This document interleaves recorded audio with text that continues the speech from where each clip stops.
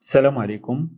مرحبا بكم في هذا الدرس الذي سأتحدث فيه عن الجانب النظري لتقدير التالية من خلال نموذج لوبان فهذا الفيديو سبق وأن قدمته آه، في فيديوهات سابقة إلا أن آه، حدثت مجموعة من التبليغات على القناة وبالتالي تم حذف هذه توقيف القناة وبالتالي كنت آه، قد توقفت عن إعداد الدروس ولكن نظرا لمراسلة الطلبة ورغبتهم في تجديد المحتوى ارتأيت أن أعيد تسجيل هذه الدروس وتركت تلك القناة جانبا وأنشأت قناة أخرى جديدة. فبالنسبة للنموذج EPM أو ال Erosion Potential Method فهذا النموذج ينبني أو يمكن حسابه من خلال المعادلة التالية يعني كل من المعدل السنوي للتساقطات التساقطات السنوية متوسط التساقطات السنوية بالمليمتر مضروب في معامل الحرارة وهنا الحرارة لا تؤخذ يعني قيمة آه، كمتوسط وإنما هناك معادلة خاصة. ثم مضروبة في P 3.14 مضروبة في معامل التعرية المحتملة معامل التعرية المحتملة يدخل فيه مجموعة من المتغيرات الأخرى. فبالنسبة لنموذج ال EPM أو ال erosion potential method ينقسم إلى قسمين يعني يمكن استخدامه من حيث التقييم النوعي يعني معرفة درجة التعرية إما يعني حدة التعرية ويمكن استخدامه كذلك في التقييم الكمي يعني كمية الأتربة المقتلعة وسنرى ذلك. فهذا النموذج هو قديم يعني تم آه، تقديمه من طرف سلوبودان جابريلوفيتش في 1954 يعني في بداية الخمسينيات ولكن لم يعرف تطورا إلا في الآونة الأخيرة. يعني مشكل أنه آه، يعني صادفني مشكل خاصة خلال العمل بداية العمل على هذا النموذج هو أنني لم أجد أي دراسة في المغرب تم إنجازها من خلال هذا النموذج. والكل كان منساق على تقدير التعريه من خلال ال USLE أو ال RUSLE و أو تقدير التعريه من خلال ال PAP/CAR. هذين النموذجين هما السائدين بحكم أن ال PAP/CAR تم إنجازها للمناطق المتوسطية. واليوزلي تم أو الراسل تم تقديمها في أمريكا. و كانت هناك بعض المحاولات لملائمتها على المجال المغربي. فبالنسبة لنموذج لو بي إم يعتمد على مؤشرات عديدة منها الانحدار والغطاء النباتي وكذلك نوع التربة أو التكوينات السطحية وكذلك بالنسبة للتساقطات فهذه المؤشرات تدخل في جميع باقي في جميع النماذج. ما يميز هذا النموذج؟ عن باقي النماذج الأخرى الرياضية لتقدير التعلية هو أنه يستخدم الحرارة كمؤشر أو كمتغيرة ضمن المتغيرات المتحكمة في التعريف فهذا النموذج يتم حسابه من خلال المعادلة التالية التي تشمل كل من التساقطات والحرارة والزد التي يتم هي الأخرى حسابها من خلال مجموعة من من بعض العمليات مجموعة من المتغيرات. فبالنسبة معامل زد يتم حسابه من خلال كل من قابلية التربة والتكوينات السطحية للتعرية ومعامل Xa أو معامل حماية التربة خاص بالغطاء النباتي. معامل تطور التعرية وشبكة التصريف أو معامل phi ثم معامل Ja خاص بالانحدار بالنسبة المئوية. فهذه هي المعاملات التي تستخدم في تقدير التعرية. فالنتائج المحصل عليها بالنسبة للزيت يتم تقسيمها حسب هذه القيم من صفر واحد إلى أكثر من واحد فاصلة خمسة وعشرون.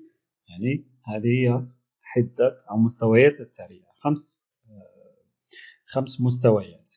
فهذا هذه التقسيمات هنا المصدر هو غابريلوفيتش زوران.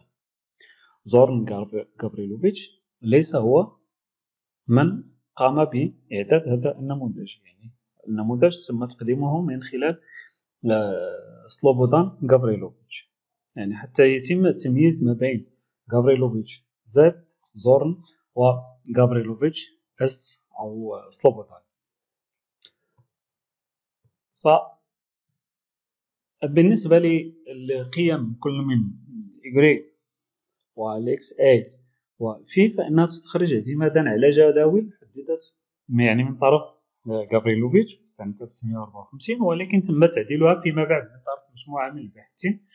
يعني هما كلهم أغلبهم يعني يوغوسلافيين يوغوسلافيا السابقة ف يعني من بين الأمور يعني التي جعلت الدول الفرنكوفونية أنها لا آه، تعتمد هذا النموذج هو بحكم أن معظم هذه الدراسات آه، التي اعتمدت على آه، لو ام كانت إما بالروسية أو باللغات الخاصة بدول البلقاء وخاصة يعني يوغوسلافيا السابقة أو بالأنجليزية. ومعلوم أننا فيما قبل لم نكن منفتحين على اللغات الأجنبية غير اللغة الفرنسية. يعني الشغل الشاغل لدينا كانت هي اللغة الفرنسية. غير ذلك لا نعترف بأي لغة وهذا ما جعلنا متأخرين في في بعض العلوم. لاعتمادنا على اللغة الفرنسية بالدرجة الأولى وتجاهلنا للإنجليزية ولكن الحمد لله مؤخرا يعني قام العدد من الباحثين الانسياق نحو الأنجليزية نظرا لأهميتها وهذا عمل محمود وخاصة بعدما تم فرض آه، نشر بعض المقالات بالأنجليزية.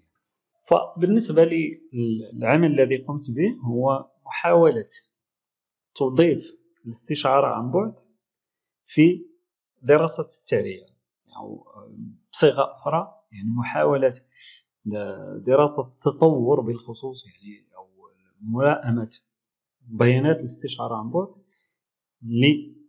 لاستخدامها في تقدير التعرية بشكل سهل وسلس.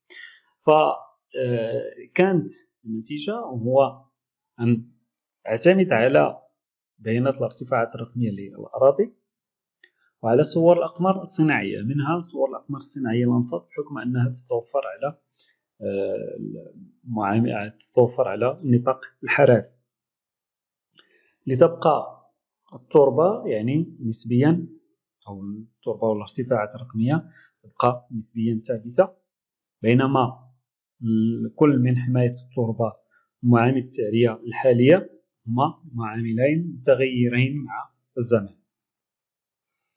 يعني يتغيران أكثر من تغير الانحدار والتربة فهذه الخطاطات توضح طريقة عمل أو حساب معامل التعرية المحتملة اللي هو Z. فبالنسبة لهذه المؤشرات كيف يتم حسابها؟ بالنسبة لمؤشر قابلية التربة للتعرية إما أن تعتمد فيه على التربة وهي الأساس بحكم أن التعرية غالبا ما تصيب التربة. أو يمكن في حالة عدم توفر خرائط التربة يمكن اللجوء إلى الخرائط الصخرية إلى الصخار فبالنسبة للتربة في هذا العمل قمت باعتماد محاولة ملائمة المعامل الكا في الرصد وتوظيفه في المعامل في الأوبان بحيث أن القيم تكون لدينا ما بين الصفر والواحد. هذه هي القيم التي آه، يجب أن تأخذها معاملات أو قيم قابلية الأصربة للتعريف. بين الصفر والواحد. ولعل هذا ما يميز هذا النموذج هو أنه يترك للباحث حرية التصرف في هذه البيانات. يعني أن النتائج التقييم تعود بشكل أكبر إلى تدخل الباحث. حيث يحدد هذه القيم في حالة ما إذا لم تعتمد. أي معادلة رياضية؟ فإن هذه النتائج ستبقى رهينة بمدى تحديد الباحث لهذه القيم يعني لتقديرات الباحث في في مدى مثلا قابلية الأطربة للتعرية بحيث أنه يجب أن يعطي قيما تتراوح ما بين الصفر والواحد. بالنسبة لمؤشر الانحدار فهذا المؤشر يتم فيه حساب يعني الانحدار بالنسب المئوية ثم نأخذ في الجذر التربيعي لقيم الانحدار. فيما يخص مؤشر حماية التربة. مؤشر حماية التربة وغالبا ما يتم فيه الاعتماد على الغطاء النباتي. فهذا المؤشر حاولت فيه توظيف صور الأقمار الصناعية بشكل أكبر. بحكم أنه يعتمد على الغطاء النباتي وعدد كبير من الباحثين يلجؤون إلى حساب الانديفاي ثم يقومون بتصنيفه. فعمليات التصنيف هذه حاولت ما أمكن أن أعمل على حوالي ستون صورة على ما أعتقد. ستين صورة. وقمت بحساب ال NDVI لهذه الصور وفي كل مرة أحاول يعني تصنيف هذه الصور حتى أحصل على آه، نتائج تبقى قريبة أو شبه متطابقة مع المؤشر مع هذه العوامل الوصفية لتحديد معامل حماية التربة الإكسائية فكانت النتيجة الخروج بهذا بهذه المعادلة. فهذه المعادلة يعني لم يتم إنجازها من طرف زورن كوماك وإنما قمت بإنجازها شخصيا. يعني كإضافة في هذا البحث لتوظيف حيث أن الموضوع كان حول توظيف نظم معلومات الجغرافيا والاستشعار عن بعد في الدراسات التعرية يعني آه، كانت هذه النتيجة. وهناك بعض الباحثين ممن أخذوا هذه المعادلة كما هي؟ بنفس القيم بنفس الحروف بنفس التسميات. أو دون الإشارة إلى المرجع. وكأنهم هم من قاموا بضبط هذه المعادلة. إلا أن البعض بعد اطلاعي على بعض المقالات لاحظت أنهم وضعوا يعني الإشارة للمرجع هذه التسمية قمت بتسميتها آي اختصارا بحكم أنني قمت بحساب ا من آي. هنا في هذه المعادلة يتم فيها. يعني لا يمكن تطبيقها إلا إلا بعد حصر آه، قيم الان دي في آي في القيم القصوى في 60 0.60 والقيم الدنيا يتم حصرها في آه، في ناقص 0.19 المكتوبة عندي يعني هذه الخطوة الأولى. يعني يجب حصر القيم ال Xa ال NDVI يجب حصر القيم العليا القيم القصوى. في 0.6 أو 0.60 والقيم الدنيا في 0.19 بعد ذلك نقوم بتطبيق هذه المعادلة. يعني x i in dv هو ln dvi بعدما قمنا فيه بحساب يعني قمنا فيه بتحديد القيمة القصوى والقيمة الدنيا. لأنه معروف أن الاندفاعي محصور بين الناقص واحد والواحد. إذا بعد حساب هذا المؤشر يتم حساب الإكس من خلال هذه المعادلة. إذا فهذه العملية قمت بتحديدها من خلال يعني قلت 62 صورة قمر صناعي بين 1984 و 2011 كلها للقمر الصناعي لاندسات 4 5 بالنسبة للصور يعني ممكن أن تأخذ مجموعة من صور الأقمار الصناعية ثم تأخذ المتوسط متوسط الاندفاعي الخاص بهم بعد ذلك تقوم بتطبيق هذه العملية عليه على أي حال سأعود لشرح هذا النموذج هذه المعادلة في الفقرة التطبيقية إن شاء الله.